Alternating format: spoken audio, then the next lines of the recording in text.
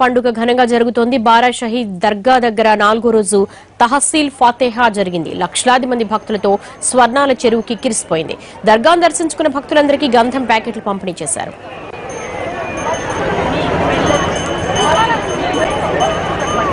Last year వచ్చినప్పుడు ఉద్యోగ రొట్టె పట్టుకున్నాము జాబ్ వచ్చింది అందుకని ఇయర్ పెళ్ళి రొట్టె తీసుకుందామని వచ్చాము.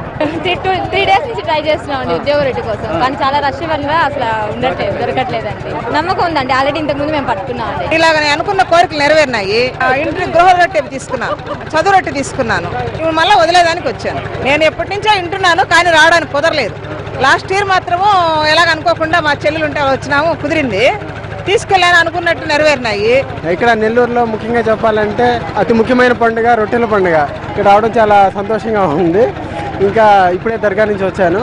నేను చాలా బాగా మసీద్లో దర్శనం బాగా అయింది.